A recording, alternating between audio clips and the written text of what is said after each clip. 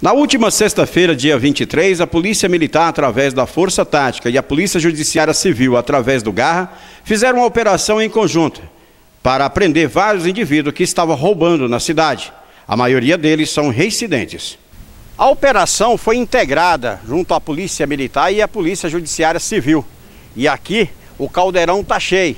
São 11 presos que está esperando ser conduzido para a cadeia pública de Porto Alegre do Norte. No decorrer da semana, a gente está vendo um aumento de, de, dos crimes de, de roubo, principalmente aparelhos celulares, indivíduos de motocicleta.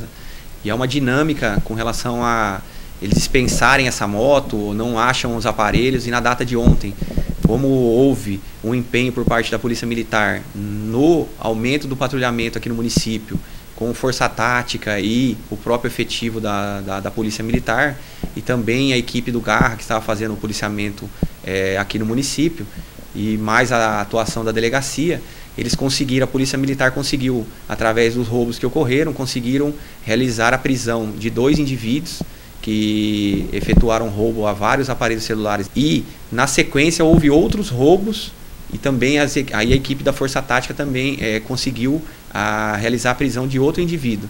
Esses indivíduos eles já saíram recentemente é, da cadeia pública de Porto Alegre, é, são reincidentes em crime de roubo e agora vão, durante o dia aqui, a gente está é, essa noite aí com 11 indivíduos na cela, que são todos oriundos de ocorrências nossas e da Polícia Militar, para a gente estar tá fazendo todos esses flagrantes e encaminhando novamente para a cadeia pública de Porto Alegre e para o Poder Judiciário para tomar as providências. E é a população é, tomar a cautela né, de, de, de, nos locais na cidade aí, é, em horário inoportuno, para evitar essa situação, é, mesmo as forças policiais atuando de forma integrada, é, esses, esse crime é, vem aumentando, mas a gente está tentando combater e enviando novamente para a cadeia.